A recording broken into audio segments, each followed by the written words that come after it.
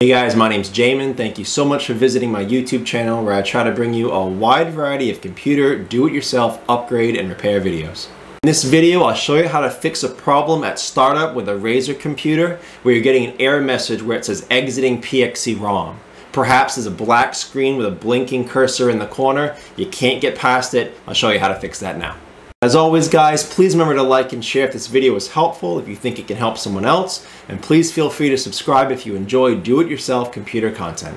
For those of you who want to support the channel a little further and leave a small donation, at the end of the video I'll show you a couple ways you can do that. Okay, so now let's get into the project. First thing I want to shout out to you guys is this problem you're seeing in your Razer. It could be several different things causing this. Uh, you could have some BIOS issues. Uh, BIOS settings could be messed up. You could have some hardware issues, specifically hard drive, solid state drive issues, or you could have operating system issues. All, all of these things could be the reason why you're seeing this problem with your Razer. The troubleshooting steps I'm going to show you in a certain order, you may want to do them in a different order. Only you know what happened to your computer maybe before the situation happened. Maybe, for example, you dropped your computer and then this error started coming up. Well, then maybe you want to start with reseating your hard drive or your solid state drive first in case it came loose. Uh, maybe some of you got a failed Windows update before this. In that case, maybe you'd want to start troubleshooting the operating system first. So just keep in mind that the steps I'm going to show you in the order I'm going to show them to you in may not be the way you want to go. You may want to do different ones first based on your situation. So the first steps I'm gonna show you is how to troubleshoot some BIOS issues. You don't have to open the computer up for that. So I'm gonna show you now how to troubleshoot some BIOS issues that could be causing this problem. Okay, so to get into BIOS on a Razer laptop, it's usually your F1 key uh, after you hit your power button. Sometimes it can be your delete key.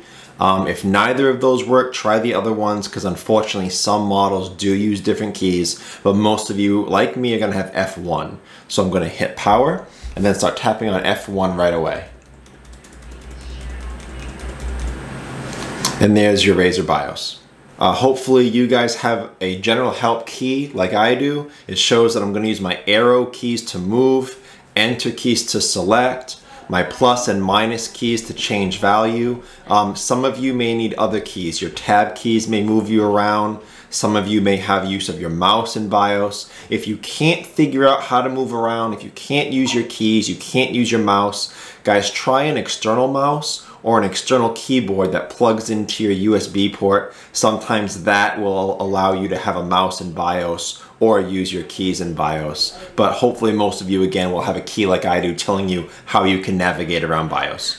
One of the things you can do with your BIOS really quickly is you can just restore it to factory settings um, in case there was a sudden motherboard power loss, in case something weird happened with your settings, you can just reset it. So we'll go all the way down uh, to, in my case, save and exit. Your uh, BIOS may not be the same as mine. There's many different versions. You may have to look around your various tabs. In mine, it's save and exit, restore defaults. I can arrow down here and I can restore defaults of my BIOS. If that's something you want to try, you would select that, you would exit, and you would continue on booting up.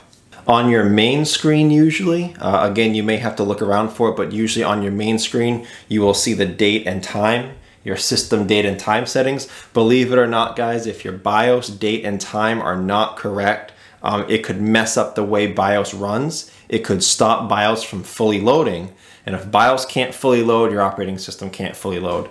So make sure your system date and time is correct. You, you can change it by hitting enter, select those and change it. Um, after you change it, guys, if you see your system date and time is not correct and you have to change it, save and exit, keep booting up, but keep an eye on that date and time. If after you shut your computer down and the next time you boot up, you're looking at the same problem, and you have to come back in and, and your date and time is wrong again, what that means is your motherboard and BIOS is not keeping the settings when your computer powers down, most likely because it's losing power.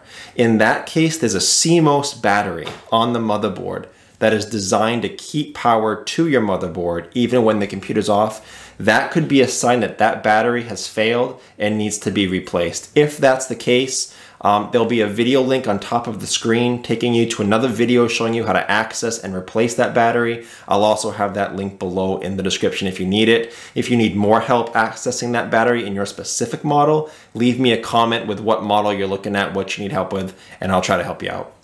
Another thing to keep an eye on in BIOS is how you're set to boot up, uh, whether legacy or UEFI. Um, again, you may have to check out your, your tabs, but for me, I'm gonna arrow over to advanced, uh, and then you can arrow down to USB configuration. I'll hit enter to open that up.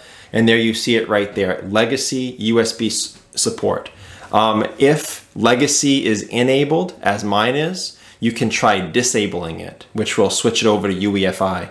Um, if you see UEFI is enabled, disable that, switch over to legacy. So basically guys, whatever you're set at, you wanna switch it to the other one, save and exit, see if your computer boots up like that. Um, there's different ways, again, there's different versions of BIOS. So some like mine here, you have to disable legacy to get at UEFI. Uh, some BIOS versions, you'll see a drop-down menu where you can select what you want. Um, try to figure out how yours is set up so you can change it.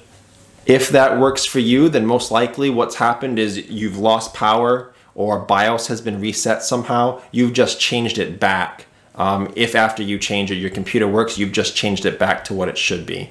So if BIOS didn't turn out to be the reason why your computer is doing this, if we didn't find the cause with those troubleshooting steps, um, the next thing is the hardware and the operating system.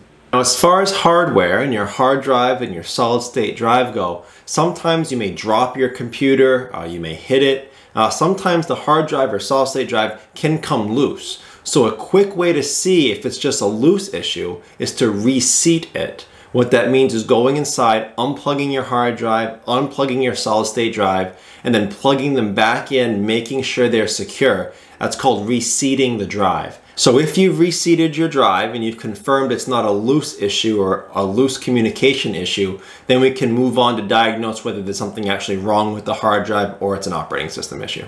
Now, many Razer computers do not have built-in diagnostic software to test for hardware components health.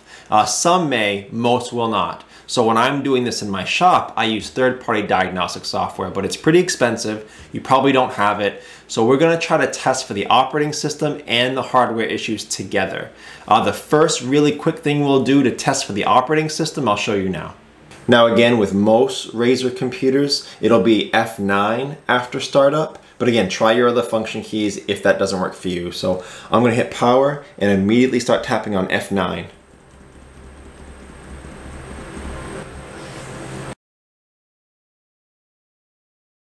System recovery, system checking, and right here, recover OS partition to factory default. So you can either start the recovery or you can exit and shut down. If you can't boot up, and if we think it's an operating system issue, try this start recovery option here. It'll access your recovery partition if you've made one, um, and it'll reset your operating system. Hopefully, again, if it's an operating system error that's causing this problem, that'll take you back to before the error happened and your operating system will function. Your computer should boot up. So if that didn't work on restoring or repairing the operating system, um, at this point, the next thing we're going to try is reinstalling the operating system. Uh, either Windows 10 or Windows 11. I'll have links below in the description showing you how you can install either one of those. But basically what we're going to do is we're going to try to install an operating system and that will test if it's an operating system error or if it's a hard drive or solid state drive error. If the install goes correctly and you've reinstalled your operating system, well then odds are you had a very corrupt operating system that couldn't even be restored or repaired. It needed a, a reinstall, in which case you your problem. If it doesn't go through and you keep seeing errors with the install, it's not finding a drive to install on, it's an unknown error. At that point, guys, you've probably identified your drive, your hard drive, solid state drive. That is most likely the issue if we can't even install a new OS onto it. In that case, replace the hard drive, replace the solid state drive, install the operating system to the new one. Uh, so I hope this troubleshooting process helped you out again. If you're at that point where you need to reinstall, there'll be links below in the description showing you how to do that. If you have any questions or comments to this process, check out the FAQs again. They could save you some time getting an answer. If you do need to leave me a comment, I will try to get back to you a couple times a day at least on those comments. Thank you so much for watching, guys. I look forward to seeing you on my next video. And as I mentioned before, if you did want to donate to the channel, support it a little further, I'll show you a couple ways you can do that now. First, right below the video to the right hand side, you'll see the Super Thanks button. You can click on that. You can select a tip amount here. Second way, you can use your Cash app. Find me at dollar sign PC Helper. You can leave a dollar amount and you can even leave a little note.